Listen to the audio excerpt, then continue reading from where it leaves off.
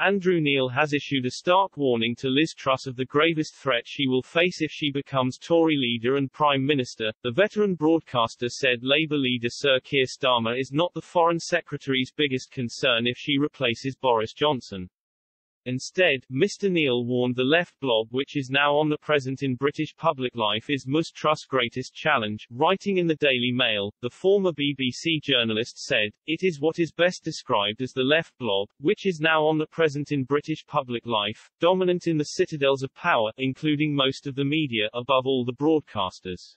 The civil service, the NHS, the legal system including the judiciary, education especially the universities, social media, most public bodies and private charities. It's even wheedling its way into boardrooms. It put down strong roots during the Tony Blair Gordon Brown years, both of whom did much to facilitate it.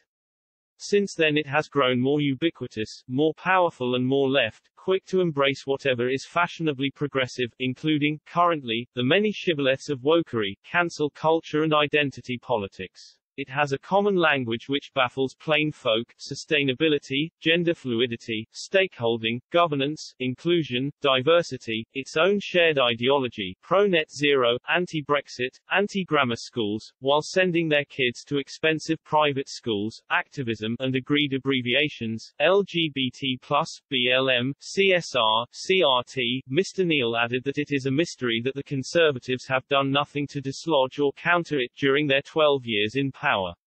He said, indeed under the Tories its tentacles have continued to spread far and wide, to be a fully paid-up member of the left blob is now virtually a sine qua non for any major public position. It is not especially pro-Labour but it is viscerally anti-Tory. With Truss in Downing Street it will do Labour's work for it.